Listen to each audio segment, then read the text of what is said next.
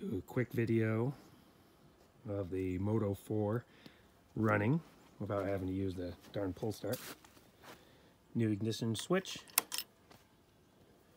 Turn on this beastie here. And give it a go.